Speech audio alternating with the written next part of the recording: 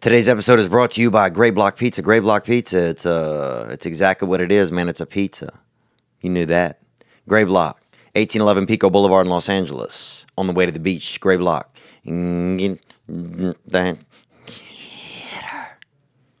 Today's episode is brought to you by MeUndies. If you want to support this past weekend and your crotch is feeling kind of unkempt, then uh, instead of trimming down that bad little badger you got down there, why don't you just get in a nice pair of MeUndies? Me Undies are made from modal, which is three times more softer than cotton. Take care of your junk and treat yourself well. Go to meundies.com slash weekend uh, to get a 15% off um, the individual pairs that you get. So go to meundies.com slash weekend to get that 15% off hitter. Gang, gang. Today's episode is also brought to you by Ridge Wallet. You know, a wallet is something that's been with me, with man for a long time. You know, a lot of times, even if they find caveman's bodies or something like that, um, they'll have a little bag of money near their butt cheek or by their um, coccyx bone. And that just shows you right there that man has always kept things on him, things of value.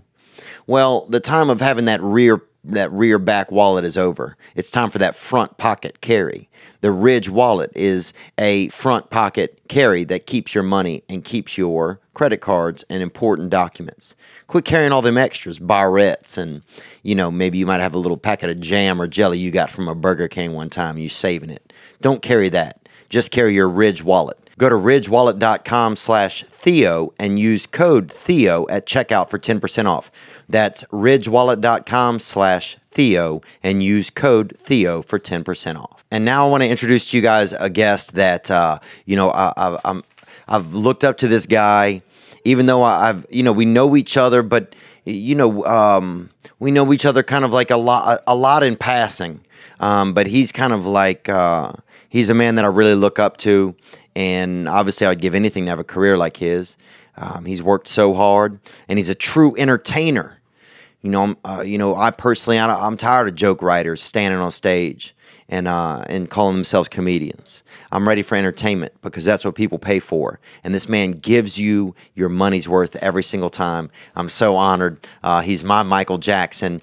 Um, you know him from his countless specials on Showtime and Netflix. He's performed at Madison Square Gardens, dude. Probably the most famous garden since Marvin Gardens or Mr. McGregor's Gardens. Ladies and gentlemen, um, it is uh, it is Mr. Sebastian Maniscalco. myself a while. Shine that light on me. I'll sit and tell you my stories. Shine. Sure, you know about it, bro. I can't even imagine how nice it is at your level and I need the money. You buying probably tomato farms and stuff. What are you buying? Ah, Nick was a premature baby, so he never. He's got a lot of uh, congenital issues. You know, he doesn't know. it. Little does Nick, our, our producer Nick know that I have uh, huge insurance policies out on him, brother. He used to work at uh, Bronson's Comedy Club. I Did you really? No, he did. oh yeah, Nick did, huh? Yeah, saw him back in the day. Oh wow. Oh yeah, you told me you worked there for one week and they had two great comedians that came through. Who were they? Uh, Sebastian and Jay Larson. Wow. Yeah, someone uh, someone jumped off. Uh, it's on. A, have you ever been there? The- Yeah, yeah. yeah. So it's on like the third level and looks over into an atrium. So the day I was uh, performing there, I walked in on a Thursday night. Someone had jumped off Mm. and committed suicide right uh, before the show with the line of people waiting to get in. So it's a nice start to the week. Dude, I got caught up there. They had a. Ch- I mean, that's crazy at a mall. Go outdoors. You like? You know what I'm saying? yeah, maybe the parking garage or something. Yeah, have some respect for shoppers, for your fellow shoppers. Right, right in the middle where they have uh, the Santa Claus set up. Oh, So, so this is nice. I like the uh, setup here, man. Who, who did this? uh, Brady Matthews. I don't know if you know brady's a young comedian. He does a lot of impressions. Um, he did this to Chris Farley. This isn't me or Donald Trump. This is Chris Farley. Oh, okay. a Are lot you, of people. Are you a Farley fan? Um, yeah, yeah, I'm a Chris Farley fan.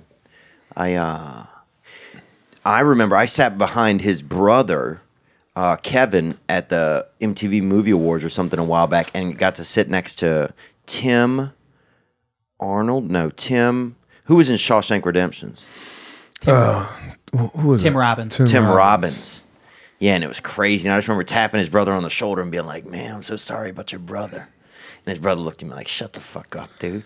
You don't know him." But now I know Kevin, and it's nice. But yeah, I love Chris Farley. Did you ever work with him? I never did. Uh, Chris Farley. Um, I was a huge fan of his, and never never met him. Never crossed paths. I think he kind of passed away prior to me getting into the entertainment business. So we never, Yeah. we never crossed paths. But uh, Dude, so how much? You must have crazy money now. You got money, like, and you're Italian, so you probably have like your baby hiding it around the house and stuff. I bet you, because I watch your Instagram videos, man, and they're they're great. It's nice to see you with the family and everything. Yeah. And you, you know, being able to achieve a lot of your dreams and stuff. But I bet low key, you guys are doing some crazy stuff at night around there, hiding cash under the floors and stuff. well, if you know anything about Italians, we, we don't talk money at That's all. a good point. So, uh, but things are good. I'm really enjoying my family, and um, yeah, man, it's it's been really really nice to. Uh, you know, we've talked over the years in regards to like this business and Yeah. how you you know break through and whatnot. So it's it's been a long long road, but after 20 years, finally starting to kind of peek my head out of the ground and uh, Yeah. and getting some fans. So Out of the ground at the bank, bro. I don't know if you know. Uh, this Is this guy, a financial show? Sorry, no. And look, uh, Sebastian, you've never seen like a money guy. I'm just, I'm just excited for you, I guess. Thank you. And is it, is it, is it weird when, like, if you don't come from money and stuff, and pe- is it, it's, it's weird to start having money, isn't it?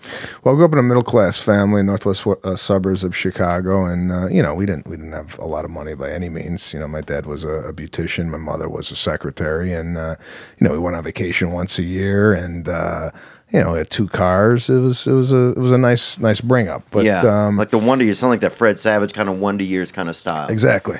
Exactly. Um, and now, yeah, I mean, it, listen, I'm not a guy who buys a lot of stuff. I'm not a car guy. I mean, I'm not a, uh, I mean, I like clothes and, uh, I like actually sharing this success with my family. Right. Uh, my father, my mother. Oh, wow. And, uh, you know, we went out to Italy. I, you know what? You know what I'm going to have to do? Yeah. And I typically don't do this. I got to take off the podcast jacket. It's getting a little warm. Is it really? We'll hang it up for you. I'm going to get up and hang it up for No, this no, man. no. Oh, okay. Because I'm getting heated talking about money. And yes, Sebastian, uh, you can really pull that over so you're speaking right down the barrel because you got that low, Cool. sultry voice. Yeah, I know. It's my music voice. Well, dude, Thank this you. guy was probably a couple of weeks away from being a lounge singer. You know how it is- you know how it is in this business, man.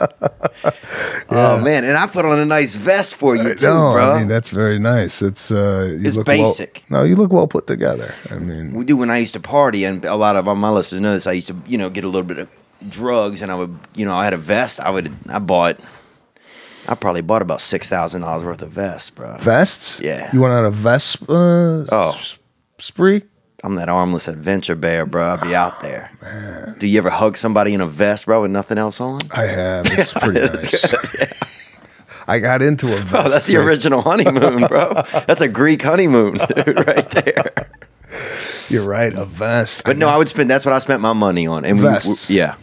Over time, now as I get older, this I, I like I collect. You know, some people collect. You might collect nice jackets. You know, you know, some people are shoe guys. Like that's one thing I would like. I had vests. Like for some reason, I got into it about eight years ago, and I've had a collection over the years. So, are you still whipping out those vests? Not as much. I would do drugs at night by myself at home and put them on, bro. You would put a vest on to do drugs. Not do the drugs first. I think you know, the vest. Yeah, Vest came after. the vest were a byproduct. I think of some of my behaviors. All right. all right. But what was some? Yeah, you were talking about spending some spending some cash, and you like spending it on your family. and my family. Um, uh, I took my sister, her family, and my mother to Italy this year, and we enjoyed Tuscany together. So that's what I like to do. I like to kind of share, because these people have been with me, you know, for the last twenty years. They've come to every show, Right. And they've been very supportive, and it's very, very. I'm I'm really into family, and now that I have a little daughter and my my wife, um, that's kind of where my my heart is, is is my family. So Yeah. and that's what I talk about in my, in my act. Not only my my my family, but my father, and the whole Italian upbringing. That whole Oh, yeah. thing. Oh, So yeah. um, yeah, it's nice. It's finally nice. I mean, after you know, I was selling satellite dishes in the mall in a ghetto at one point uh, to to you know get by. And I went into ten thousand dollars worth of debt. So. it was uh, it's, it was a struggle, as you well know, you know, and uh, and now I'm very grateful that everything is kind of uh, working out. Even and out. It's even now. It's interesting. It's almost. Do you feel like in some ways like it's, um, like it's evening out? Because what's interesting is you don't. For me anyway, I don't remember almost all the times that I put in that were not valueless, but definitely were not a lot of like fiscal reward at all. Like all the weekends of flying, like you said, you went ten thousand dollars in debt. Same here. I think I went like I think I had honestly once I was all said and done, almost 20, 20 something grand on credit cards. Just from you know you they pay you six hundred dollars to fly to Buffalo for the weekend as a feature. You come back, you lost four hundred. You know, Yeah. like it's just an investment. Yes, but is. all that kind of goes into the past uh, uh, as you start to like you forget about it a little bit. Like I guess it, it feels like it evens out a little bit.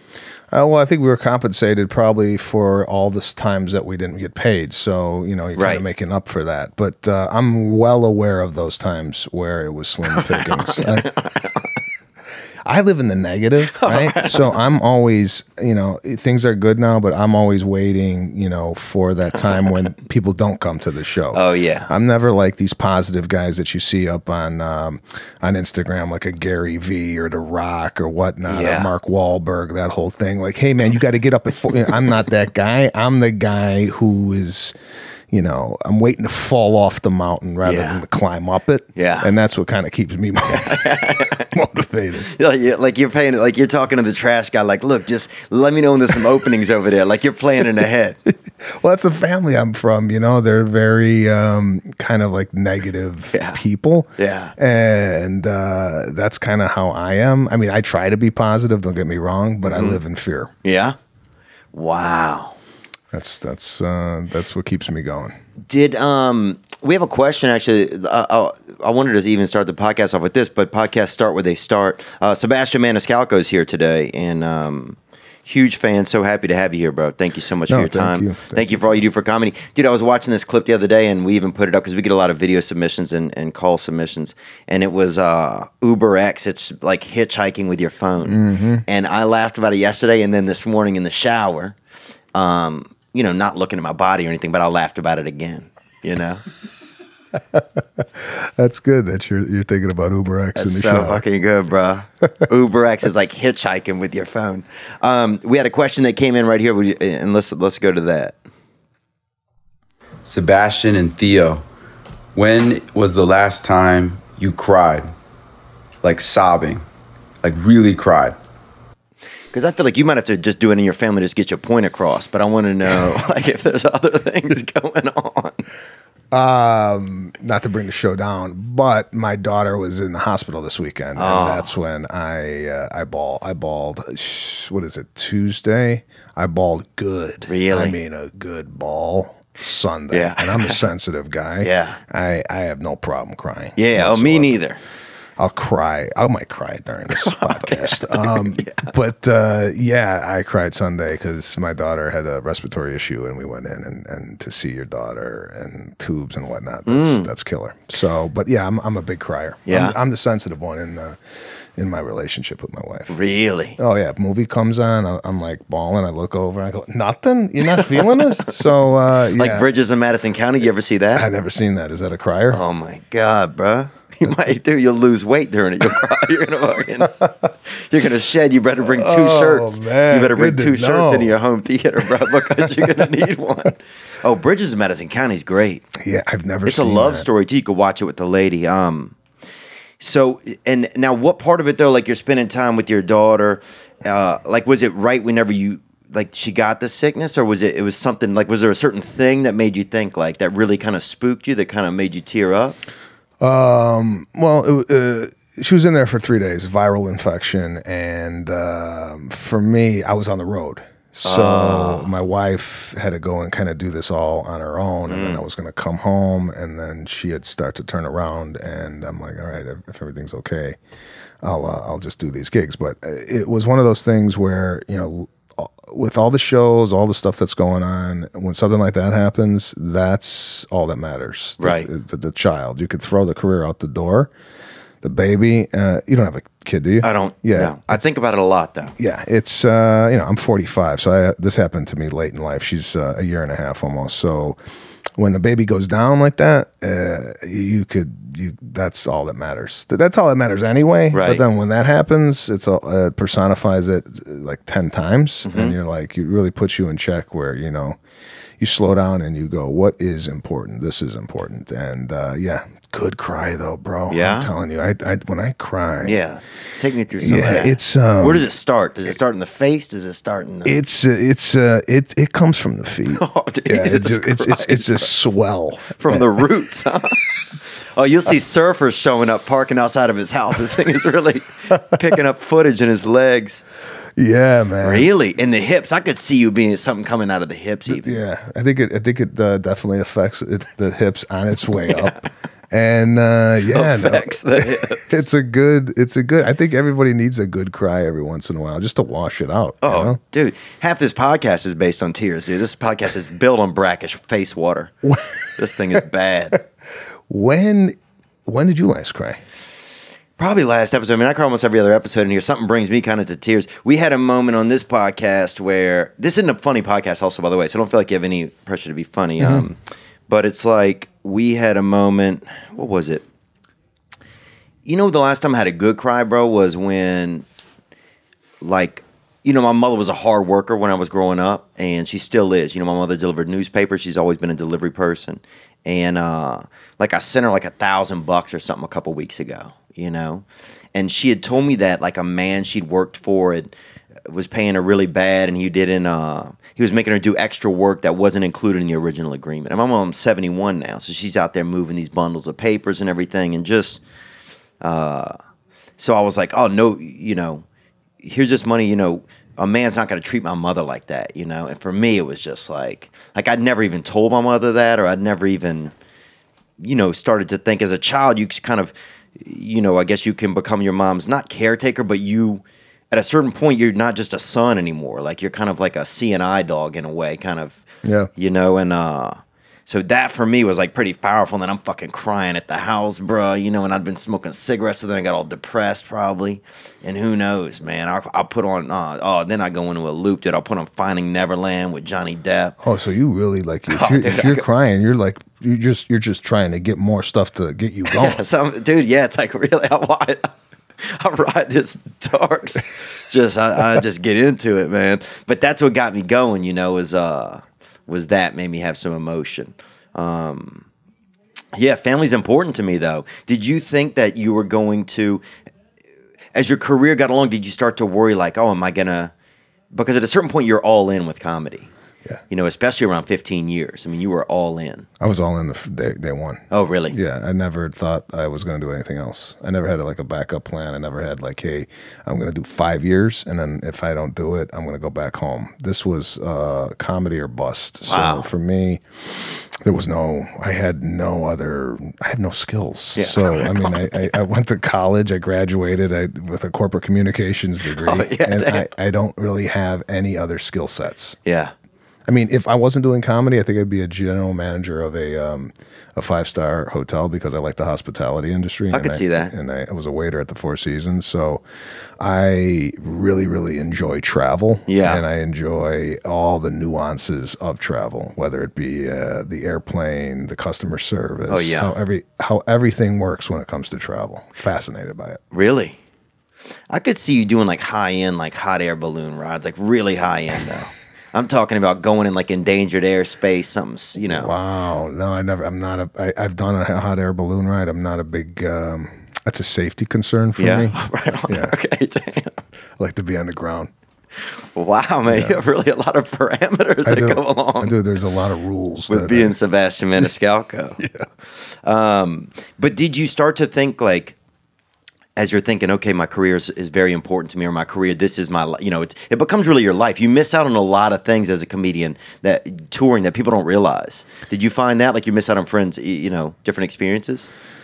Yeah, um, I, I, I kind of, as far as friendships are concerned, I, I kind of, um, I don't have a lot. I don't hang around with a lot of people. Yeah. Um, a, lot of my friends are still back in Chicago. I mean, I, I still have friends here in LA I've, that I've met over the course of the 20 years that I've been out here, but I never felt a missing with not being around any friendships or, or anything like that. It was, I was so involved in trying, like, like you, you know, going traveling every weekend, coming home, unpacking, getting getting back uh, on an airplane, and, and doing it all over again. So, I never really was concerned of what I was missing out on because I knew in the end, whatever I missed out on, I would be able to kind of make up for it uh, in the success of of doing stand up comedy. So, you know, I've been working for 20 years, and this is the first time this year that I took taken like a good chunk off to really kind of uh, reflect, enjoy, have like a little balance. Because with this business, I think you got to live life in order to draw from it. Like mm. that's how I that's how I do my comedy. I, I don't really get my comedy sitting on an airplane or going into a dark room and writing. I get my comedy from going to a uh, a preschool interview. You Yeah. know, just doing just doing the regular things of life. You know? Yeah. And, well, that's uh, what people want to see. They want to see Sebastian going through regular life. You know? Yeah. That's what's so fascinating. that's what's funny to me. Yeah. That's what's funny to us as viewers, as listeners. Yeah, I just think Fucking great. Oh, that- You're like, did you hear, dude? Sebastian got stuck standing in line. yeah. Wait, did I you just hear about this? yeah the nuances of life. That's observational type humor has been a huge, huge uh, uh, thing with me, and I've always loved watching uh, other comedians talk about real life situations, Right. whether it be family, whether it be uh, friends, um, going dating, whatever, whatever it is. I really enjoy that the, those those stories, opposed to kind of made up stories that someone just conjured up. I, I could appreciate it, but for me to laugh, I like I like the pain that another comedian's going through. It makes it makes me really really laugh. it adds to it. Yeah, there's something. There's something that makes you laugh when somebody like gets hurt. It always like you know if they don't get hurt really bad, like not dead, but you know, like I saw one time a guy took a took a eight ball off of a pool table. We're out in the street, and he threw it down the street, dude, and it hit another dude, man. And it hit him like in the thigh or something. You know, someplace it wasn't gonna kill him. You couldn't hear it, but it, man, you heard it come out of him. It was like it made no sound hitting him, and then all the sound coming out of his throat when he just yelled. Yeah, I mean, um, physical pain is is often funny, but I'm I'm uh, I'm talking more about like you know when I watch you, you talk about growing up and you going to school and that environment that you grew up in school. Not that it was painful, but I I didn't grow up that way. Right. I don't I don't I have no experience that I go, oh, that was me. But the fact that the way you tell that story and you bring us into your world, that's where I find uh, as a viewer that we, when you could cross that and and and bring someone who didn't bring up, grow up like you, but you could still laugh at the situations. Right. Those those those comedians to me are are, are a joy to watch. I, I don't particularly like um, the humor that's kind of fabricated out of nowhere. Yeah. Yeah, you know, one thing I think that you've done for comedy, and I'm, uh, you know, I feel like I'm in a little bit of the wake of that, is just bring back like the art of the, an actual entertainer. Um, because for a long time, it seems like it's been about like joke writers. Um, but I feel like anybody could get up there and do that. I want to see the person up there. I want to get my money's worth. That's what I feel like. Um, and I'm sure with a lot of your fans, these guys want to get their money's worth. They probably, you know, people probably trying to buy you sweat backstage. I mean, I can't even imagine. Especially a lot of uh, uh, Italian men are low key Liberace's. I feel like not the gay side, but everything else. You know, the flashy silks, you know, the extra sweat glands. I feel like they got a lot going on back there. Yeah, yeah, there's a lot of extra sweat glands in the Italian culture. Um, yeah, man, you think you've hit something on the head there, where they bring in the entertainment uh, uh, aspect of, uh, especially in stand-up comedy. You know, you have, you know, there's something to be said about going to a show and seeing a kind of spectacle or a guy or a woman up there really, really entertaining, exposing their soul. Yes, and and, uh, trying, making an effort. Effort. None of this crybaby comedy. There's so many people just like who are well off, but they're just crying about life. It's like I'm, I- I don't get that, man. I, I feel like I owe it to the people now more than ever. You do, you do, and and for these people to come out and see what we do, I've always I've always looked at it as like you're coming into my house, and uh, I'm gonna I'm- like if you come Take your shoes off. yeah. take your shoes off. Number one. But uh, if you're coming over to my house, I'm going to make sure if like I, I'm a I'm a big observer and, and I'm looking at what you got. You got coffee, you got juice. I don't know if you you, you typically drink that, but I'll make mental notes of what you, you what you like. If I have a party, I will make sure that if if you're a drinker and I know you drink Jack, that Jack Daniels will be at the party. That's kind of how I do with my shows. Like I, I if you're gonna come to the show, a I'm going to take care of you with the entertainment. Mm-hmm. B I always used to go out and, and meet the people after the show. Yeah. take photos. That's where I'm at right you. now for sure. And if you get that one-on-one connection with somebody, uh, you'll have a fan for life. I'm telling you, and, and you're doing it the right way. Where you go out there, and you like you're appreciative of these people coming out and Oh, I'm so bucks, you grateful. know? So that's kind of what I did for the last 10 years. I was outside hanging outside comedy clubs.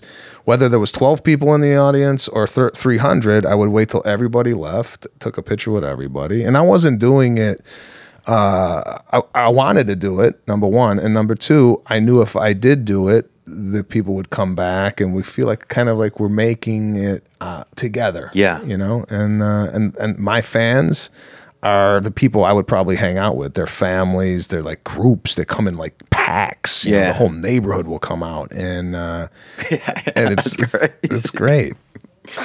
Um, no, I- it seemed like it's been great, man. Um, let's take a. I want to make sure we include some of these. Let's take another one of these uh, video calls.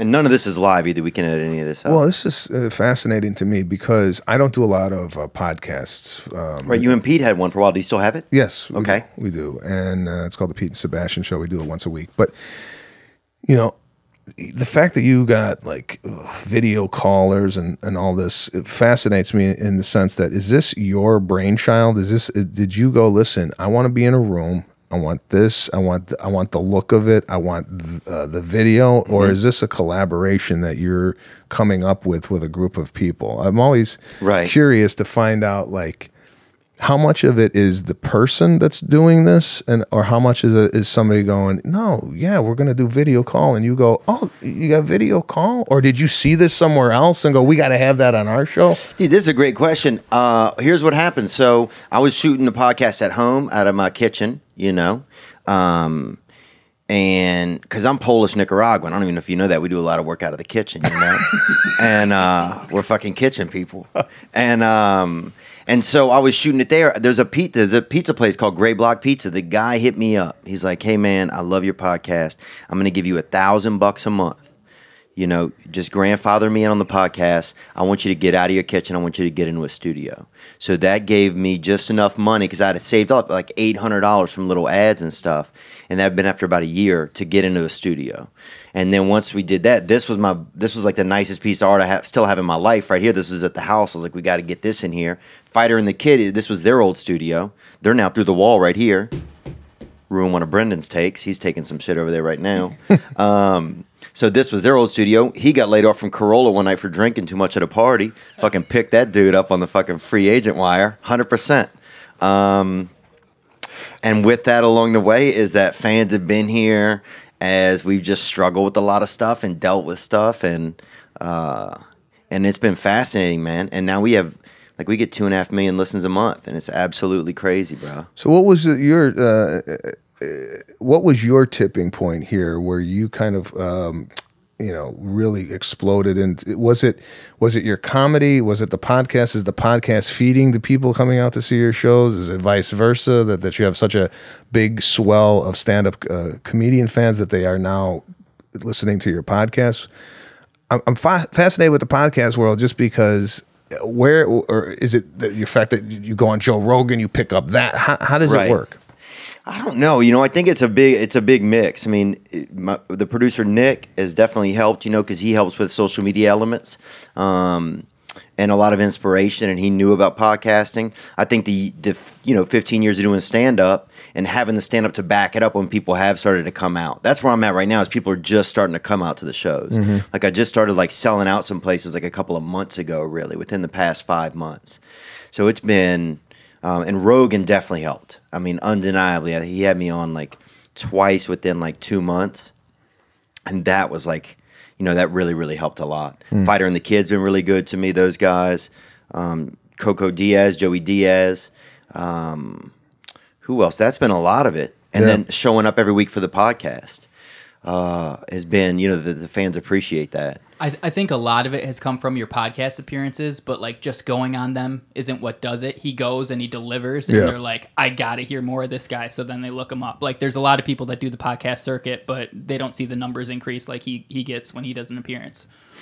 Yeah, And he it- may know that better because he's a, you know, uh, he knows about the podcast. Because I know when I saw you on the podcast, it would, and also when I saw you on stage, which I've never seen before, and I don't know if this is something new that you're doing, but your way of using vocabulary and your the way you string words together, like it's it's very unique. And I was wondering myself, and this this appearance on this show is more of a learning experience for me as well. Because I, I, I, to tell you the truth, I always really wanted to discuss this with you. Is it is this did this come out of nowhere?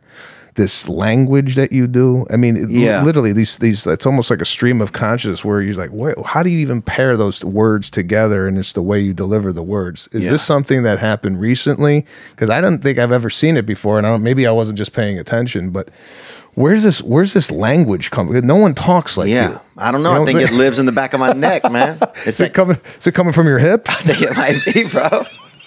It's that fucking Clint Eastwood, baby. I'm Yeah, that, you know. I'm that queso and sommelier bad boy. You know, it's like you just don't know what can be paired up. That's the thing. Well, that's what it's just. It's just. It's it's really fun to watch. I I mean, I'm not blowing shit up. Uh, No, I appreciate I'm, just saying, it's it's fun to watch, and and I remember watching you on. Uh, you were doing Yahoo News or Yeah. uh, an, an entertainment Oh, it thing was for, so horrible. for a little bit. I had And- to comb my hair and it was falling out.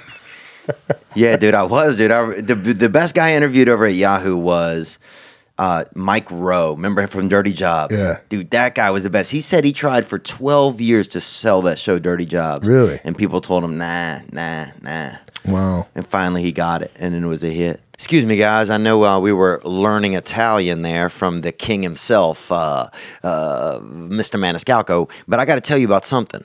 You know, a lot of people's breath stinks, and a lot of people aren't taking care of them little bad boys in their mouth. And I'm talking about their teeth. Do you know that people brush their teeth every day, and that they often do it wrong? You know, a lot of times uh, we feel like the first way we learn to do something and we just keep doing it that way. Well, I used to put my shoes on first and then my socks. And people thought I was an idiot. Was I? I don't know. But but there's a, a better way to brush your teeth is what I'm trying to tell you. And that is with Quip. Q U I P. Quip is a better electric toothbrush created by dentists and designers. It was designed to make brushing your teeth more simple, affordable, and even enjoyable. A lot of people they brush their teeth too hard and they're just they're just beating their teeth. It's like they're just like beating a baseball bat against a dirty Chevrolet. And that's not what you want to do. You want to you want to you want to take care of your teeth properly and that's what Quip does. It has a built-in 2-minute timer that pulses every 30 seconds to remind you when to switch sides. And it declutters your sink or cabinet and makes traveling with an electric toothbrush way easier. You just charge it once and it stays for three months on one charge. No more old bristles, none of that. And that's why I love Quip because it's new, it's fun, and it gets the job done. They're backed by over 20,000 dental professionals, and it starts at just $25. So go to getquip.com slash weekend right now, and you'll get your first refill pack for free with a Quip electric toothbrush. That's right, your first refill pack free at getquip.com slash weekend. That's G-E-T-Q-U-I-P dot com slash weekend. Take care of your mouth. Take care of your breath. Take care of yourself. Get yourself. That means yourself and your health at the same time. Yourself. Get Quip. And now, back to this wild Italian. Um, did you ever start, did you, do you feel like you always like, did you start to get scared? I, I, I honestly, like, I noticed, like, in the past couple of months, I started to get like some fear. Like, am I supposed to be doing something right now? Like when things have started to pick up in the in the entertainment industry and just be busier. Did you have anything like that? Like, what was some of that? Like when you're like, wow, is this just like excitement or is this like my career's taking off? Like you, did you have like some any visceral reactions to it? I don't know what visceral means either. I don't know. Either. I don't know what it does either, but it sounds like it's a really powerful word. Um, I uh, I learned to um, I Well, no, I, I don't think it's fear. Yeah, I think it is fear. I, like I always live in fear, Yeah. but I um, I'm always fearful. But uh, as far as like doing other things, it's like uh, sh- I never wanted to spread myself thin. I don't want to do stuff just to do it. Right. Um, I don't want to go on a on a show where you know it's uh here, for example, like a talking head show, like a Chelsea Handler show type show. I I I don't like doing those shows because I just know it doesn't showcase me in a good way. I don't like vying for the attention of uh, of a host or whatnot. It's just not my style of humor. It's more a little bit laid back and kind of just comes and goes. And I, I'm not the guy who's like always on or wants to get in. So Right. um, yeah, you're not that guy. yeah, I just didn't. I just didn't want to do shows. And I have nothing against the show. It just doesn't showcase me in the right, Right. way. And I felt like when that was happening, I'm like, oh man, do do I have to be on these shows to to sell tickets? Because it seems like everybody that goes on those types of shows was was doing Was selling re- out. really, Remember? Yeah, really well. Fortune, Josh Wolf, all those guys. Yeah. And you sit there and go, well, no, I'm just going to stick to my guns and I'll find another outlet or I'll find my own way. I just know that that way for me is just uh, is, is not going to showcase me well. That's why sometimes I don't like doing podcasts just because sometimes I feel like, oh, you know, I got to be funny, or, or you know, is, is this something that people are going to go, oh, is it? I- don't know. I, I don't know what's interesting about me. Mm-hmm. I, I just, I'm, I'm, I'm, sometimes I'm like, why do, why does someone want to hear my story? And Yeah. when, I wrote a book, I'm like, do I really, do, do people really want to read what I've been through? I felt like I didn't even have a book in me. You know, I, didn't, I didn't have cancer and overcome it, or I didn't have like this big, you know, Yeah, you weren't sex trafficked. yeah. there was nothing that I like. I just came out here 20 years ago to do stand up, and there's been some some uh, ups and downs, peaks and valleys. But do people really want to know that? I don't know. I, I, I that's why I have a hard time with the social media too. It's like. I look at some of these guys and I'm like, geez, man, they, they- they're up there every day. And Yeah. This, hey, I'm here, I'm here. I'm like, I'm struggling to get like one one post every 72 hours. Yeah. You know, just because I'm thinking in my head, I go, if people really want to know that I'm Yeah. I'm, I'm doing this, so it's That I'm been a- desperate. I think you do it good though. well, I mean, I really do. I just, I just try and uh, if I do something, I, I just want it to be funny. And uh, a lot of the stuff that I put up there, I, this is what I do. I film it, I look at it, I go, this sucks. Nobody wants to see this. And I and I erase it. Or if my wife's in it, she goes, "Hold on, I got to look at." It. It's like it's a, it's a, it's a whole It's a whole thing. a whole ordeal. So it's been th- that's been a kind of a struggle for me of how to f- how to figure out the uh, social media game. Yeah. where I where I'm in because I don't have a lot of followers. If you look at my followers and then you look at the people that come out to see my show, they really don't correlate. You Oh, know? that's got to be interesting. So then that's not even where a lot of your market is even at then. Well, you know, it's an older market. It's a it's not a, a market um, that's that's a younger. I skew kind of older families, parents, whatnot. Al- Although I do have uh, a lot of kids, like 12, 13 year old kids that really enjoy the facial expressions and what have you. But um, you know, face Facebook is, is is a place where a lot of them live. But you know, you know, you look at my Instagram and Twitter, it's it's uh, relatively low numbers compared to you know a lot of the people out there that uh, that have in the millions. Yeah. and, uh, and no, it's Like Ariana Grande. She has 70 or 80 million. Yeah. And Pete Davidson, he's starting to look like her mood ring. I feel like whatever mood she's in, that's what color he dyes his hair. You notice that? That's what I'm feeling like. I've seen a guy have four different hair colors. I feel like it's red when it's that time of the month, too. They dye it Oh, red on God, Pete. it's That's a bit much. Um, can I can I have this? Is this for me? yeah, it sure is, man. A buddy of mine, this is his new company, but they're they've been killing it. But All right, it's like a it's like two calories or something. It's safe. peach. It's nice. That's nice. Did you think that um did your wife have to talk you into fatherhood or was it something that you wanted to do? put it this way i was never a guy who wanted uh, kids like i was like 20 i'm like oh yeah i can't wait to have kids but as i got older in life and a little bit more secure in my, my job and, and, and I was stable uh, started having a family was one of my priorities and so glad i did. It's like one of those things you hear it time and time again man i wish i would have done this a little bit younger, but actually the timing of it all really, really worked out. I mean, it's it's it's no, I I, I was not talked into this. I wasn't talked into. I, I don't have this relationship where it's like the the woman is like we got to get married. It's, Right. It's not like that. And uh, my wife is super super opposite than than me and that's why it works and um, never pressures me to do anything it's it's not that type of relationship but uh, having a kid for for us is man it's really something special Yeah. And do, wh- like, what is like, what is it brought out of you that you didn't know? Because I mean, I, I'm kind of fascinated by that. You know, I'm scared. Like, I get scared about that kind of stuff. I get scared like I won't be able to, you know, um, like I'll mess up the relationship in the family, and then I won't be there for my, you know, like I just get, I don't know, I just get, I have a lot of fear, I guess, about that kind of stuff. Did you have any fears about it, or is it just wasn't something you were interested in? no not not necessarily fears it was first of all doing it with the right woman Mm-hmm. i don't know how the hell these people have kids and they can't stand their wife for that I, I don't I, I don't know how that even works Yeah. for a, i mean you got to love the person you're with in order to bring a child into this life because uh, I'm just in my personal opinion looking at the the the trials and tribulations of parenting. If you're doing that with someone you can't stand, Yeah, God, does that suck. So Muppet out there. Some ladies in her car all night eating chips and everything and drinking big sodas, bro. Fuck that. Dude, this lady in our neighborhood, bro, she used to say that she lived by us, but she would just park out there and drink big sodas in her car. Straight out of a two liter, dude. No straw, nothing. To the dome, bro. that is aggressive. She was aggressive, man. And she used to also deliver cookies for a while, but she got laid off from there. Anyway, Man, did you just you, closed your eyes? I on it. like going see that? home, man. I like Man, going you, you were like reliving that. I thought it was uh, you look like a, a singer, or almost like reliving that moment. Jeez, I've never seen someone close their eyes while they're telling a, st- a story before. Bro, I'm the Smokey Robinson of bullshit. Let's let's let's bring in another video question. We got some great ones.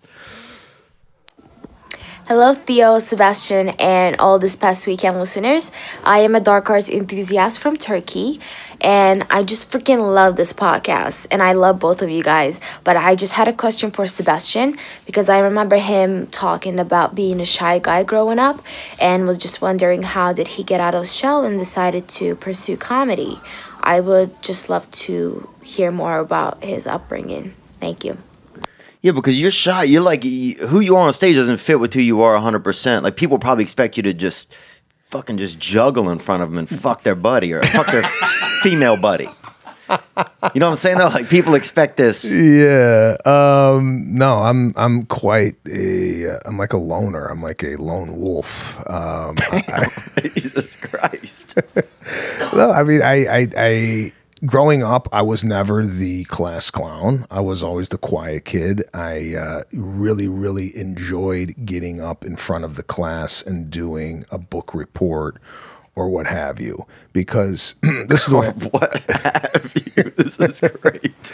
I just looked at people when they went up in front of the class, and it was boring to me watching them. Yes. and I'm like, come on, man, this is like we're here for three hours. Give us something. you The guy's like, I'm here for the Indian in the cupboard guy. I'm fucking nervous as hell. Just give me a minute. He's in the he's in the back with a lion's whip in the back. Yeah, man. I don't know. I was I wanted to be entertained, Right. In in school, and uh, I felt like I'm like, wow, these people. Like I felt like um, we weren't getting our money's worth. Yes. And I felt like I can't wait to go up because I know I am really gonna make these people laugh. I not, not necessarily read the book or anything like that. I kind of masked my uh, inability to um, do the work with the humor. Mm-hmm. Right. And that's where I felt. Yeah, yeah. That's where I felt. I uh, can relate to this, man. yeah. So like you made people laugh and maybe forgot why you were there in the first place. Yeah. That's kind of how I grew up. And I didn't I didn't really I wasn't the popular kid. I I was kind of on the outskirts. I played soccer. I didn't play football. Really? I was uh I hung out with a bunch of guys from another school. So Oh, when I creep. well, nothing, nothing fits your own life. no, man. I, wa- I was. I've always been on the outer perimeter of what's going on. Whatever's popular, Yeah. I'm always on the outside, kind of looking in, and that's Ah. been the story of my life. I've never been the popular guy. I've always kind of done my own little thing, Hmm. and uh, and that's it. So, so this question that this this uh, woman from Turkey had, had asked, it, it was, it, I feel more comfortable on a on a stage talking to people than I do in environments like this. Yeah. because then I, I tend to like edit myself. I tend to be a little bit more reserved. I don't uh, talk off the cuff. Everything's kind of. I don't know. I get in my head a lot when I'm when there's like two or three people around me. Yeah. I'm not. I'm not. I'm not. I'm not like the fun, I'm not fun guy. It's it's not who I am. But you got to admit that we need more Mexican people in the NBA, though. You got to admit that. You know? like you got to admit, Yeah, yeah. The, the quota of Mexicans in the NBA is low, and we need it's more. way too low. I don't know if you've ever seen Mexican guys play basketball or not, but it's No, I haven't seen a lot. Why is it? oh, um, it's thirty on thirty with a soccer ball. you know. That's and Jason Jason Galern, you know him, he's a comedian. Yeah. He's like, yeah, and every shot is an eleven pointer. but we just need, yeah. I Oh. feel you, man. I, I mean, I think I feel you there. It's like, yeah, like, uh, well, I think it makes sense if you're on the outside, then you can get a perspective. Yeah, maybe that's what it is. I never thought of it that way, but I, I've always been the guy kind of looking in and uh, never really part of the group. Never, never part of any type of group. It's But do you want to be part of the group, though? Some, sometimes, yeah, I want to like, like why, like it, it- I'm like, why am I not in that, or why am I not doing that? This is early on in my career, right, with work. Yeah, Yeah. but not necessarily with friends. I feel like I'm very comfortable of, of the people in my life, whether it be family or friends, and I've never really yearned to be a part of a social group. However, uh, I do miss being part of a team. Um, I played team sports growing up, and Yeah. I do miss the com- camaraderie of going to, to and hanging out and busting balls and all that stuff. That that I do miss. And uh, but you know, because comedy's so lonely. Yeah. you know what I'm saying. I, I, I do miss a group. Yeah, and it's interesting. And as you get more famous, um, it's tougher to get into a group almost because a little bit. You know what I'm saying? Like if people know who you are, it becomes, um, you know, you feel like you have to almost not check yourself, but just make sure that you're at a comfortable level. You know? Yeah, I mean, um, yeah, any any type of like group activities, and and and my wife and I are kind of not struggling with this, but it's like we've moved into another chapter in our life with having a baby. So now we are looking for people with those shared experiences. We're looking for parents to kind of hang out with, Right. and uh, you know, with with Serafina, my daughter, who is going into preschool in another year, we, we feel like we're going to be introduced to a whole new group of people, and uh, which is going to be I feel sorry for these people for some reason. he doesn't say much.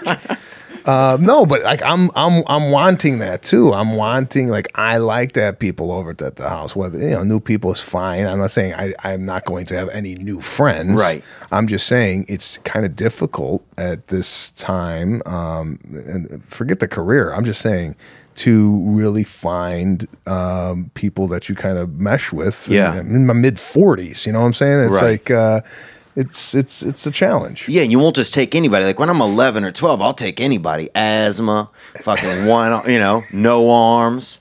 You know what I'm saying? Some fucking turtleneck jockey or whoever. I'll take anybody. Some dude with ants all over his body. When you're like seven years old, you'll befriend anybody. Some dude all booger collecting boogers on his shoulder. You know, like Yeah. you'll. But as an adult, it's like you. So many things you're like, uh, uh you know, not for me. Yeah, I think just over the years you kind of like uh, kind of know what you like and don't don't like, and uh, yeah, but it's going to be an exciting time now that my my daughter's going to be in the school. and We're going to be introduced to a whole different group of people. What's her first Halloween co- or what's this Halloween costume? You guys have it picked out yet or no? Still working on it. Last year she was a. Um, we brought a big pot and she- Gnocchi? uh, well, she was pasta. Oh, she was like a little, a little. It was, it was a hit. it was a hit, bro. And we were the chefs. Oh, there you go, dude. So uh, we got to top that, and uh, we don't know yet. My wife still. My wife's super creative. She's an Yeah. artist. That's why I asked her to do this. Um, Ah. and uh, and she's super creative. I mean, outside the box creative. It's sick. I've met her. She's a beautiful lady. Uh, Yeah, we, thank you. We we met you. We, we talked to you. This is about five, maybe five, six years ago at the Improv, um, and that's I think that's the first time you met her. Yeah. Yeah, and you have a sister too that uh, almost came out or was going to come out to my show. Maybe it was an Oxnard. I don't remember, but I canceled. Yeah, Yeah, yeah. Canceled on your sister, bro. but hey, that's a gentleman in your book, probably. That's right. You know, any guy that right. doesn't take your sister out, you know. Did you ever reschedule that? I did reschedule it. It was okay. It was good out there. You know, I thought the service was a little weird at the club, but I thought everything else was good. Dude, who told me a good story the other day? Uh, oh, Stanhope did some shows there. He had Johnny Depp come out to watch him Oh wow. at the Oxnard Improv. They just put a chair off to the side in the crowd, but off to the side. Johnny Depp sat there the whole time, watched him.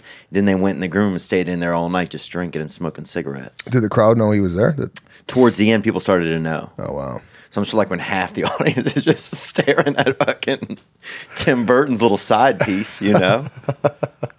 I bet it got interesting. What was it? What was uh, Halloween like when you were a kid? You remember any? Yeah, it was. Um, one outfit was the Hulk. I remember I was the Hulk with Hulk pajamas, but my wife put a snow. My wife, my my mom put a snowsuit on me, and then put the pajamas over the snowsuit, and that was uh, one of the. Oh, that's a good idea. And then another one was Rocky. I was Rocky, and How many uh, kids were Rocky though? a lot, but I, I had like a really bad Rocky outfit. I had a Rocky kind of taped with medical tape to the back of the rope. A lot of the outfits were not not like high end Yeah. at all. It was it was like piecemeal. Oh yeah, we had a guy who just drew a swastika on his back one time. Jeez. Can you hear me? oh, oh, there it is. Oh, there we go. They got. Oh my god, that's illegal, bro. Oh, this is a Chinese family reunion right here. This is absolutely adorable. Oh, that's so cute. When you look at your daughter now, can you remember her being like that? Yeah, yeah, it, yeah. I mean, she is small. I'm looking at her now. I'm going, wow, she's really grown. But yeah, that seems like it was yesterday. But uh, yeah, man, it's great. I mean, you have a little baby like this, and you're doing these things, and, seeing the smile on her face, and she's talking now. She's just starting to walk. It's it's really cool. You got to get one, man. I'm thinking about it, man. I want to get my sperm tested somewhere. I- You know, they do all this other stuff where you can get everything. tested. I I just, Wait, wait, wait. You want to get the sperm tested? yeah, just to make sure, you know, that I'm, at, you know, that you could have a baby. yeah, that kind of a baby, you know. So you just you, do you have a girlfriend? Yeah, I've got a girlfriend. I've been seeing this white girl. She's good. An adult, bro. These days, look, that's a good qualifications, man. Uh, White and an adult. it's like this, I mean, I would, yeah. I mean, I would go any race or ethnicity. I, I don't think not, no, not gender. Yeah, I'd go any race or ethnicity. But yeah, this she's white adult. You know. um, but we'll see. You know, we're figuring it out, man. You know, I I struggle with that kind of stuff. I've always struggled with commitment. You know. You never really had a long term steady. No. I've always been uncommitted in relationships. I think I've been uncommitted in my relationship with myself, even when I really think about it, like in my own life, you know, like, eh, we'll see if this takes, you know? Well, how old are you? 38. Oh, okay. Yeah, man. I think uh, I think this is good for you. Maybe um, maybe you uh, settle down with the the white girl. No. Well, it could be, look, it could happen. you don't know. What, what was the number one thing? Like, is it like, because you see a lot of people that are real fuck buddies out there, and the next thing you know, they're broken up by, you know, by Thanksgiving. You know, a lot of these things, you know, relationships these days, it doesn't even seem to be something a lot of kids are doing. Seems illegal almost another couple months in America that should be illegal to even. You're right, man. I mean, compared to when I was single, um, with all these apps and what have you, it just seems like, uh, you know, people are swiping, meeting, and, you know, they screw on the sidewalk and then they go on to the next guy or Yeah. girl. It's, uh, it seems like, it seems frightening, actually, what's going on out there. I don't even know how Very the scary. hell how the hell uh, people are doing it. It's, um, I mean, I've been out of the dating scene for ten years, so I, I don't even know how I would even fit into that. Yeah. Did you have a go to kind of date that you used to do back in the day or anything? Um, uh, I love dating. I love dating because I love the, The actual hospitality of it? the date. I love the actual date of it. unbelievable. I mean- Dude, you're gonna end up working at the pearly gates. Who's the guy they got there now? St. Peter. You're gonna, you're gonna, uh, you're gonna give that guy a run from his money. Welcome to heaven. You know? we got a four top. Just hold on. One second. One second. Um, no, I loved going and picking the girl up, Yeah. getting in the car, surprising her with a little place that you know. Some music. Now, would you put music on in the car? or Not no? in the car. I'm not a not a music guy in the car. I'm not really a music guy in Yeah, me general. neither. Uh, but I love going. Like she'd go, "Where are we going?" Nah, that's a little surprise. You know, I never, never really told her. Like I, I like I'd find like um, it's a place in Chicago called Pops for Champagne. I remember taking a girl. I was like 19 and took her downtown to the city. Like a lot of other guys were just like either hey, come over, let's go into the movies. I'd go on the uh, the, the expressway, thirty minute drive, pull up pops for champagne, had a fake ID, sit down, watch a little jazz. you know, like I just love the experience of the actual date. Yeah. going out and showing a girl a good time, and and uh, and uh, yeah, that's that's kind of that was my go to. That's what I loved loved to do. I could see that the service, yeah, just that service industry. Yeah, I'm trying to think of a good date I took a girl on one time. I think there was some man. I don't know. I, I definitely got a. I was always running around. Like what's it like? Like what's your idea of like a, like you're gonna get to know a girl? What are you doing? Like you, hey, let's go for call. Like what's the what are you doing? Probably go for a like a walk, like a local walk. Probably do. I don't know. I don't like getting. I don't know if I like getting to know people that much. You know. So I think probably something. A, a local walk? What what is that? Is like opposed to where? Like going somewhere? Like getting lost, I guess. You know what I'm saying? Like, I ain't fucking getting adventurous if I don't have on, uh, you know, running clothes. You know what I'm saying? I ain't going for a fucking nine mile walk in one direction, bruh. That's really dangerous, man. so? Do you like uh That's a good question, man. do you like food? I mean, do you like trying new foods? Different? No. None, none of that. You know what's funny when you said music? I never really got into music that much. A lot of people from your area, I know a lot of those guys are into like you know wrestling in their backyards and shit like that. And like, um, who is that? Uh, Bruce Springsteen, probably, huh? My area. Yeah. Wrestling in yards. Yeah, I feel like Chicago. It's like a place where people wrestle in their back, like do backyard wrestling and Bruce Springsteen. Uh, no, that's not. No, we didn't. We didn't do it. We didn't. I didn't live in that area. Yeah. I'm from Wisconsin. We had a, we had a lot of that. so Oh, there you go. very Might- close. Maybe up north in Wisconsin. might be a they little were- off they base. Were, they were diving off the roof. My mother's from Peoria, actually. Oh, okay. Yeah. So is that where you picked up that Chicago is is good as a backyard wrestling mecca? A lot of bad intel. No, I grew up in Arlington Heights. There was not a lot of wrestling. I, I was into wrestling, but Yeah. we weren't doing it in the yard. Yeah, there was none of that. Uh, there's none of that going on. Let's go to one of these, Nick. and we got a voicemail this one. On your special, why would you do that? I was wondering if you can just speak to that crazy outfit you were wearing and kind of your thought process behind it. Thanks. You are a master of ceremony. I mean, you are.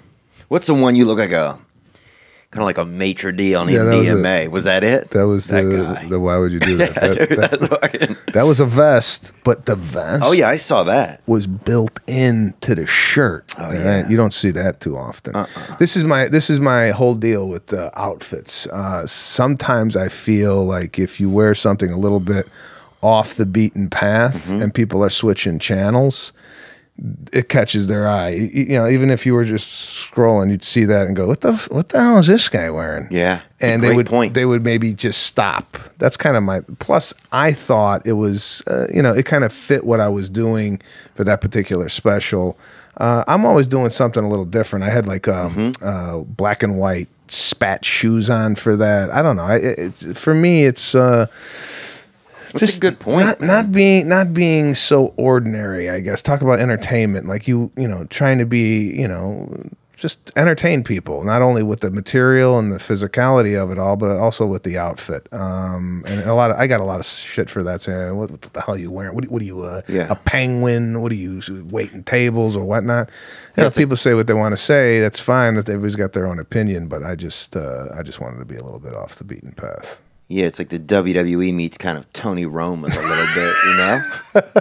but I'm and I'm just joking. Uh, I mean, and I appreciate you letting me even make fun of you, dude. No, um, man, uh, believe me, I got my I I grew up in a family and friends rip each other to shreds. So I'm not. Uh, this is nothing. Was there some moments when it was weird? So you walk back into your family and you're becoming a star, you know, and you know, and I- um, and I don't call you that because I feel like you expect me to call you that. You know, I call you that uh, a star because you know you've earned it and you've worked your way so hard, and that you, you know, like you're going to be known as that. Um, but was there a moment when you go back into your house when you almost? It's not like you have to keep your ego in check, but you got to just kind of make sure you know where you are a little bit because your ego is this thing that can kind of grow inside you and be like a real dirty boy, you know? I've never really even thought of it. My family keeps me so like level headed that I've never even thought, well, I'm you know doing well or I'm a star or whatever. It never even enters my mind. My sister, my mother, my father, my wife, they uh, you know they joke. It's all a joke. It's it's uh, e- even if I did say something that would be a little bit more like uh, like I was acting as a star, they go, "Who are you, who are you Big Shen now?" so it's it's all like in fun, and there's never been a moment where I'd actually had to check myself because there's no really check. I mean, I'm I'm just a guy doing stand up comedy that uh, happens that a lot of people come out and see me do what I do. So Right. nothing's really changed for me with my relationships. So you don't have to, yeah, okay. So you weren't thinking of like, oh, they're going to look at me different or they're going to think of me different. No, they're very proud. They're very excited. They they they've been there from day one. They know the journey. They know the uh, you know all the, the the the failures I've gone through as well as the successes. So they know it. They know it inside and out. And um, I've never had to stop and think otherwise. It's interesting. Yeah, I guess maybe it's in my own house. I just know my family, like half of them, like, you know, we've always been like such fighters and stuff and angry and like, like I remember nobody had fun in my house unless somebody was crying, bro. Oh, really? And if somebody was eating a piece of meat, you get them to cry, bro. It's hard to swallow meat and cry at the same time because your throat's trying to work both ways, you know? yeah, that is a tough deal. Oh. Crying and eating meat. I've never even really heard of that. Oh, be some bad skirt steak in your throat, son, and you start tearing up, bro. You fucking get lost, dude. Straight up bridge to Terabithia in your throat. What else you got here? Another voicemail. Okay. Hey, what's up, Theo? This is a question for Sebastian. I was just curious who is his comedy influences starting in his career.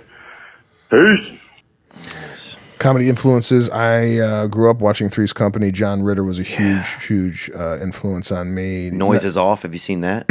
No, Some movie that he was in. It's really, really neat. no, I haven't seen that. Um, but his his uh, depiction of John Ritter with the physical comedy was always. Um, I learned a lot watching him. I mean, I'd watch Three's Company like game tape. You know, I I would just look at his. Uh, he he could just do a, a movement with his head, and you would just know how he was feeling. It was all a lot of facial and pratfalls and physicality. There's one episode that really sticks out when he was trying to uh, sit on a hammock and the hammock kept flipping over and the way he would flip over and look surprised. It, it was just really, really brilliant stuff. So him, uh, Johnny Carson, I always uh, uh, loved uh, Brian Regan, uh, Jerry Seinfeld, George Carlin. I grew up in the Eddie Murphy days Yeah. uh, Dice Clay. I, I've looked at his career and just talk about a spectacle and making a show a show. I opened up for him for two years, so the way he would, you know, and we've had talks about this. Uh, off stage, he would say, you know, it's entertainment. It's it's it's larger than life, and and you know, and that's kind of kind of learned just just ta- talking to a lot of different people and their process. Um, so yeah, those were the influences growing up, and um, And Michael Jackson, maybe? Michael Jackson, uh, out out of the kind of talk about a spectacle. His his just his quick movements sometimes is a surprise to the audience, and I've incorporated that too. Just where you're telling a joke, and you know the audience is there with you, and then you bust out into a, a physical move. It's unexpected. It takes them off guard. In this day and age, too, with everybody's attention being so fragmented, I mean, I I've like I got to give these people a show, not only verbally but physically, and it keeps some people on their toes. You could you should you could see they're like they're almost like waiting for it. You know, they're Yeah. almost waiting for like a, a jolt or whatever. And Michael Jackson, I, w- watching him, uh, not only and his stage show too, which now I'm kind of uh, as I'm doing Munich, the- man. theater. Sh- Mu- is that one of the ones that you en- enjoyed watching? The You told me about it. I remember asking you one time for like advice. You're like Michael Jackson, Munich. Munich, Munich, Germany, and uh, and, Okay, and- that's all he said. That's all he said. and Budapest was also a good one. but his stage and and and, and light show, uh, which now I'm also looking at, is I am bringing in production for the show. You know, uh, large screen. Like a lot of what I do is in my face, and you can't see it if you're in the balcony. So I brought in a large um, LED wall behind me where people now in the entire theater and when we do arenas we do it in the round and we put a big screen above me where you could see it all and the lights i'm into how do you light the audience? How do you light the stage? Do you light the stage when you're doing arena? Do you do you put a like a laser light around the stage to outline it? All these different things i'm totally into and that's why watching michael jackson and his stage show and seeing his bad tour when i was back in chicago in 19 i think 85 or 90 i forget what it was. But i just was fascinated about the spectacle of the show. Yeah. it's at the end of the day you got to make people laugh Right. right that's what they're there for Right. are they going to notice that oh my god he's got lights on this they're not but it's almost like it it's you when you walk in you create an environment for people Mm-hmm. and it's expected and if you don't have it i think it's it's noticeable Man, it's interesting how yeah, hospitality is such a thing in your life. You know, like Uh, you do want to give them something. You want to give them something. You don't just want to take. yeah they're paying a, a high ticket price Yeah. So you you want to give them the enjoyment of going out and en- enjoying an experience rather than just a microphone and a, and a curtain. Yeah. And that's fine if you're doing that. But for me, being in that hospitality mindset, Mm-hmm. I just want to give people a lot of options. You come to my house, I'm not just doing burgers. I'm doing burgers, Italian sausage. I'm doing, uh, you know, I'm going to have a little steak on the side. I put out a, a plethora of different things for people to enjoy, and it's always been in my head. I mean, it's and it's transferred into my career. Hmm. It started. It started just me knowing the ins and out of hospitality, working for the Four Seasons Hotel, Right. and, and anticipating people's expectations, and that's kind of what I'm doing in my shows. I'm trying to anticipate what people are wanting when they come out for an evening of comedy. Do you think that? Uh, do you have like an ideal show past the ones you've done? I mean, is it scary to go out into like an arena and and like uh, Madison Square Garden? Is it scary to go out in these places and and have um and feel like you're still doing comedy? No, I, I don't feel that at all. I feel like, oh, this is just a bigger setting. Um, there's more pressure in the sense that, you know, doing a Madison Square Garden is kind of the epicenter of, um, you know, New York City and the, the world's famous arena. So, yeah, there there is definitely an added pressure, but I feel like, wow, now I could really start Entertaining people. yeah. Wow. Really start showcasing what I do. Not that you have to be in an arena to do that, but it brings a level of excitement that just isn't there in maybe a comedy club. Yeah. I mean, comedy club is great. I love comedy clubs, but um, you know, this it's just it's just another level of excitement for me. And your dreams were in arenas. It sounds like. Not, Like, not really. I, I didn't want.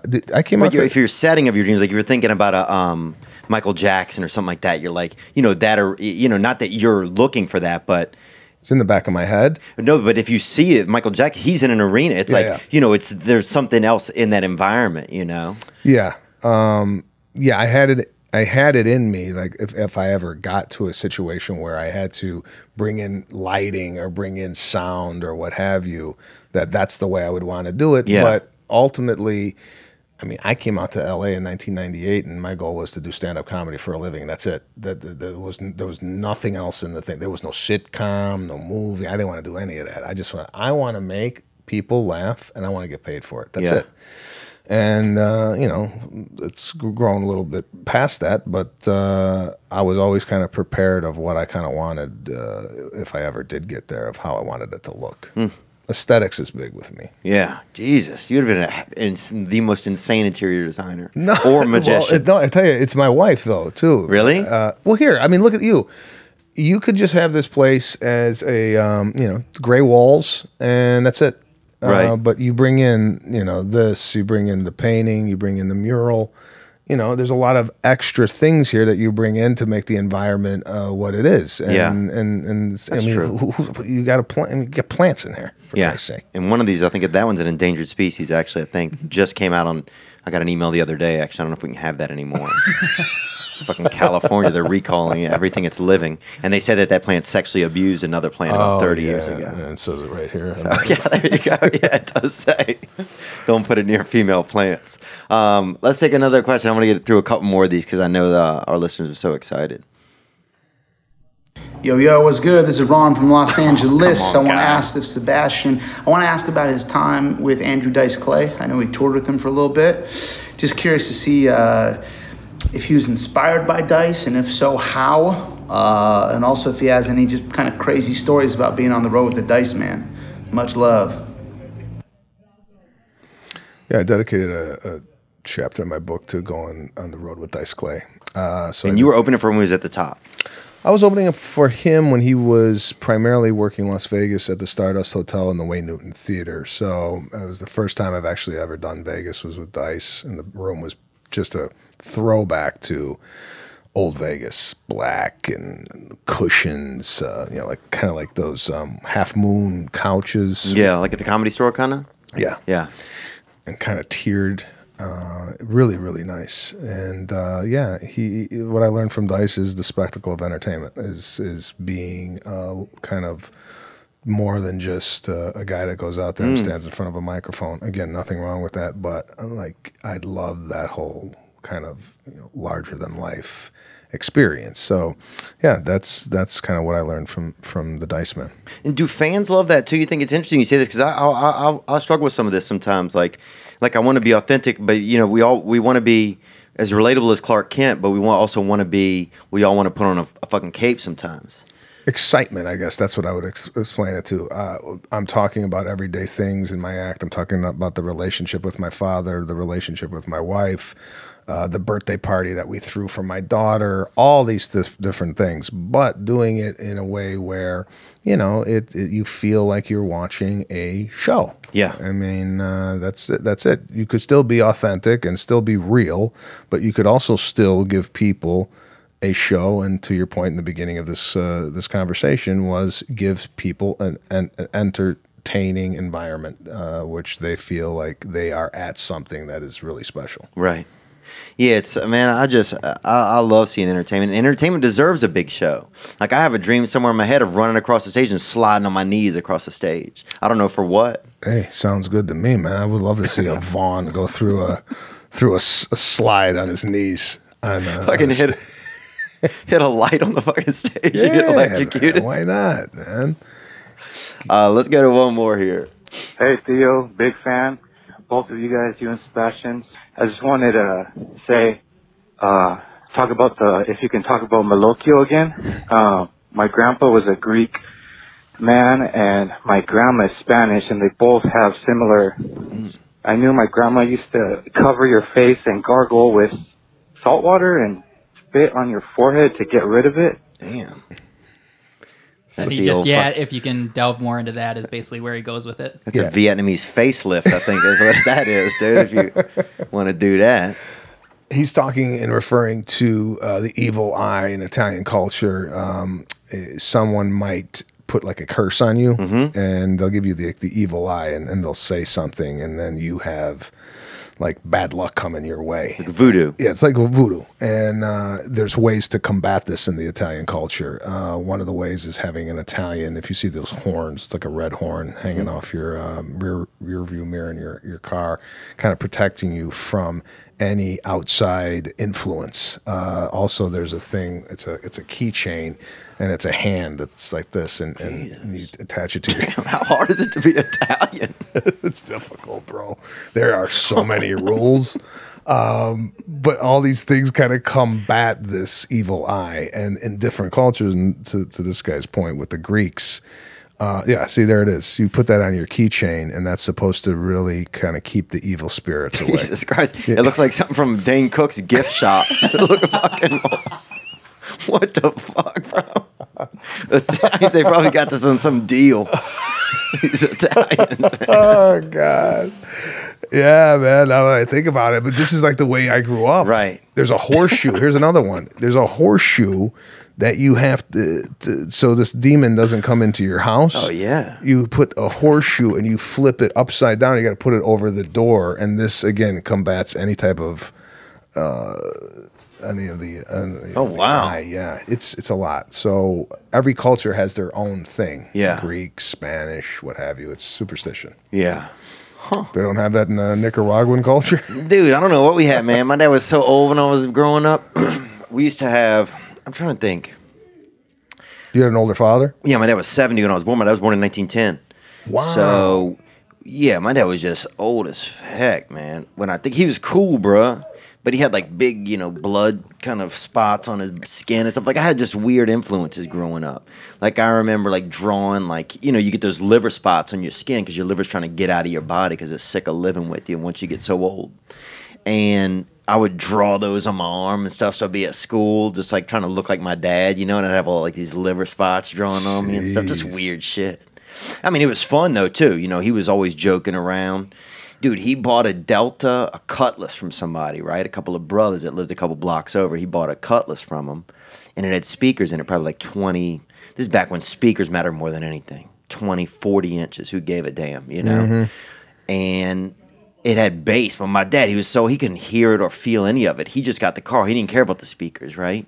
So he'd be listening to like Paul Harvey or NPR, just bass the fuck out, you know, like Paul, Paul, Paul Harvey, good day. You know, just like listening to the weather report. I mean, it was just absolutely ridiculous. Wow. Uh, so just that was kind of my world I grew up in, where it was like nothing mattered, you know, like or like any and nothing was off limits to joke about. You know, my brother would come in and be like, "Dad's dead." You know, like he fucking better not be dead, dude, or he better be dead, or I'm gonna whoop your ass. You know, like just the weirdest. You know, we take weird angles and stuff in communication. Wow, man, that is a different upbringing. But yeah, he was. Uh, my dad was from Nicaragua, and then he, so he taught. He he spoke a bunch of Spanish, but he didn't really teach us anything. You know. Um, so I don't know. He would talk in Spanish. He would flirt with some ladies over there. He'd let me go skip school and go sit at the bar with him and eat Hershey Kisses up there.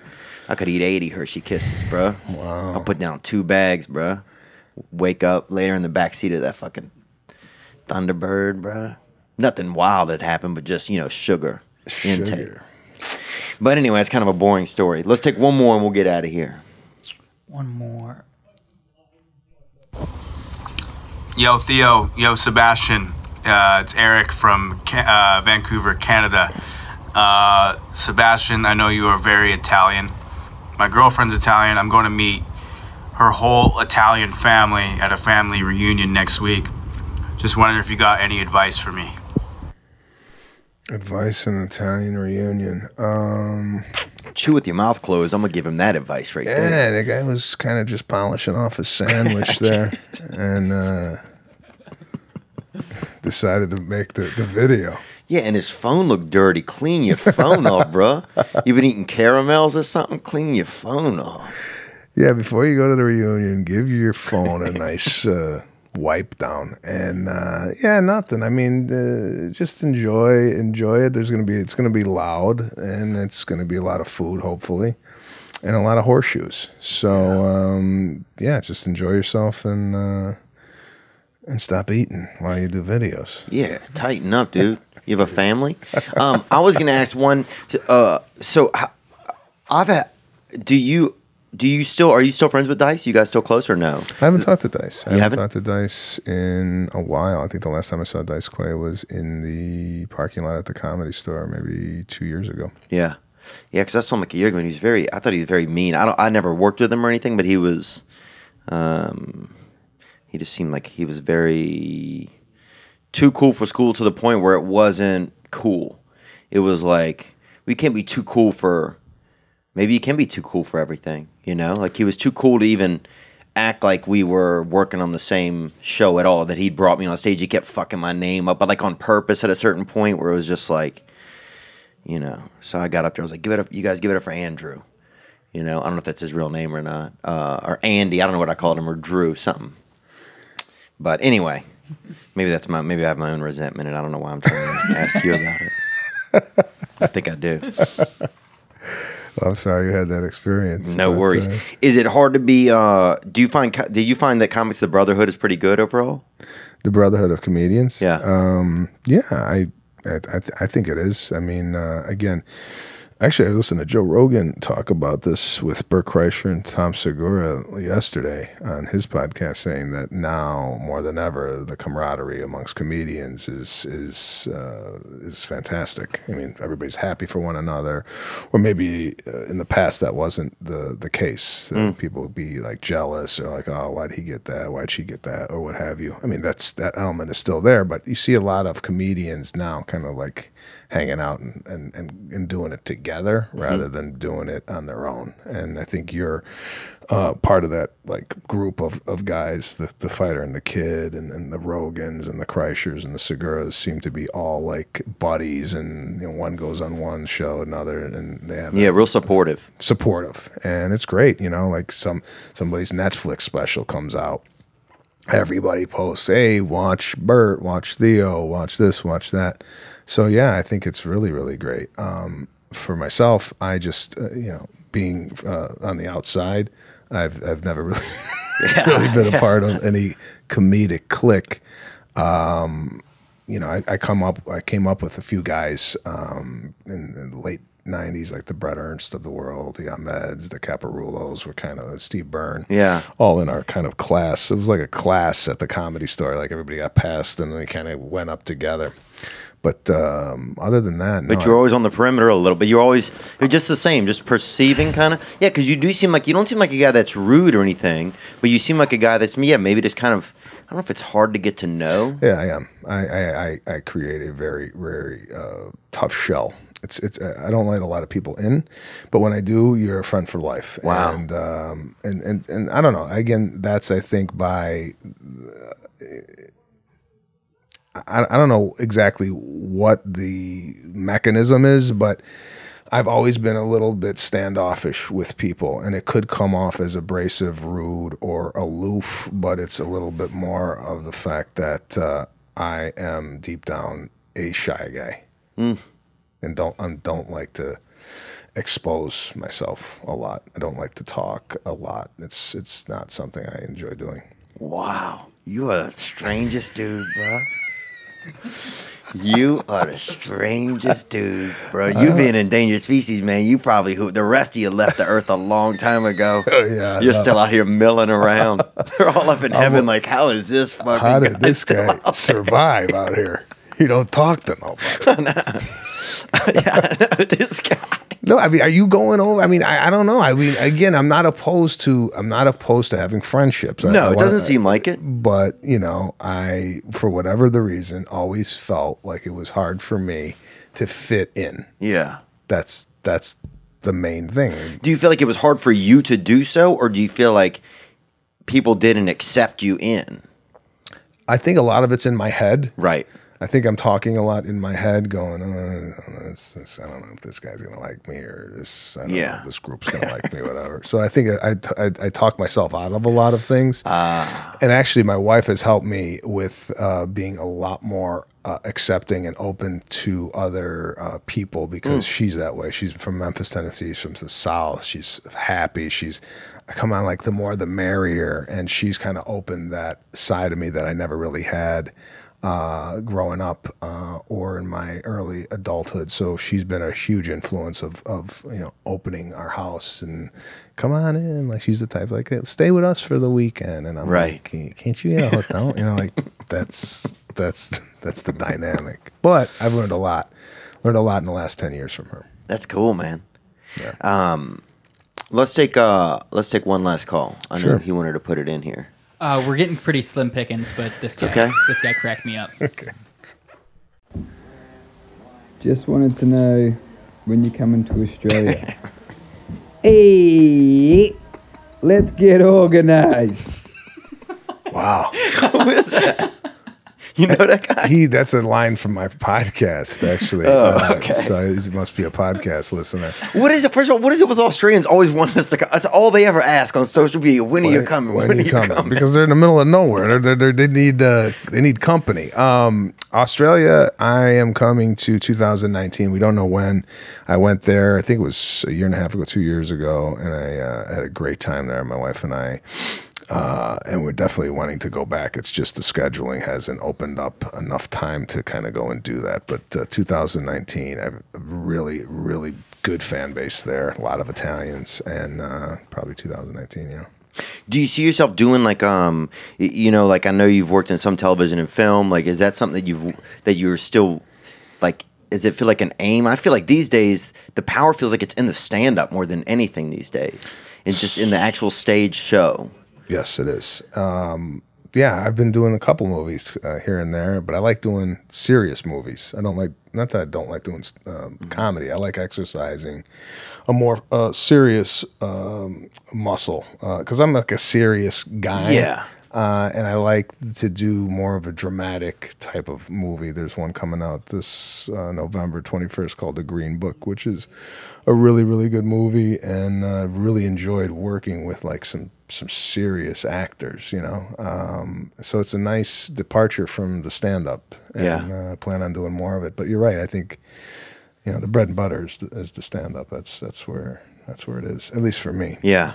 Do you feel like like what would be, do you have an ideal kind of role like a maitre d that fucking you know goes to you know Um, uh, like a um, James Bond sort of a maitre d that um, that maybe uh, I don't know. Like when I was working at the Four Seasons, I always look at people that I didn't particularly like waiting on, Mm-hmm. and um, maybe something there. Maybe Maitre the ma- Dexter. Maitre. I could see that. That's a good one. I mean, Yeah, like room they- service? They they didn't tip. And then later on, when they're in the parking lot, the fifth there's- season. Yeah. the fifth season with Sebastian Maniscalco. Man, I feel this is the most. This is the guest I've been mo- most excited to have. Man, we've had some really great guests in here, and um, but yeah, dude. I, I mean, I just. I know it's hard to like get to know you and uh, you know like uh, you know because you just are kind of like kind of keep to yourself a little bit, but it's not because you're a mean guy or anything. No, no. I mean, again, like uh, we have parties at the house, and and you know, it- it's just like I don't, I don't, I don't really have a lot of people's. phone.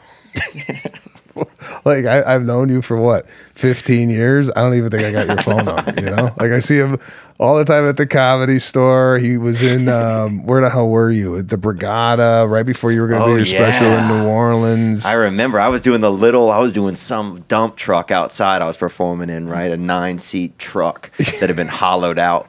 And I walk in and there, he's in the back making wine.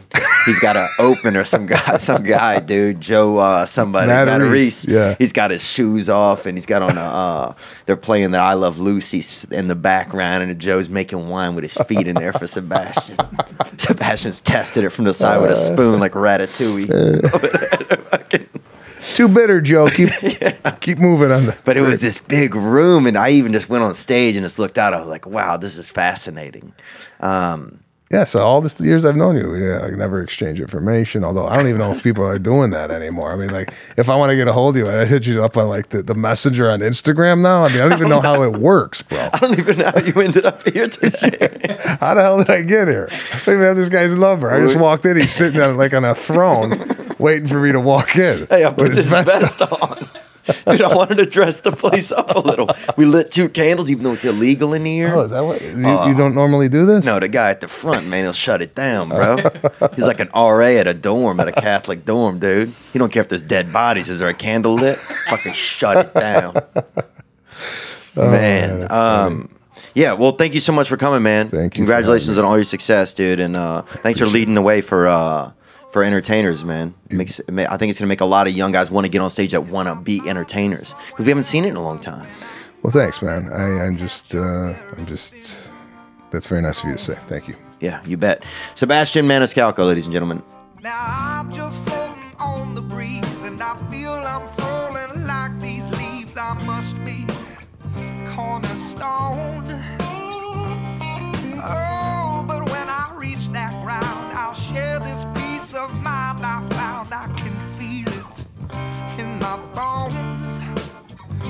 Gonna take a little time for me to set that parking brake and let myself unwind. Shine that light on me. I'll sit and tell you my story. Wow, you know what's crazy is my sister can't even read. But what does it have to do with us right now? Hope you enjoyed that video, and you can watch another. And you can watch this one, you can watch this one. Different options, different choices. Some guy just brings you one option, not this guy. Two options. Watch one, this one or this one.